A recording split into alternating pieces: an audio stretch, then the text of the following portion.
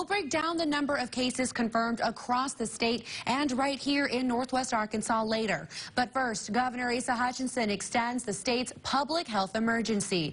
Our Jesse Pierre is live in Fort Smith. And Jesse, what does this extension mean for Arkansans?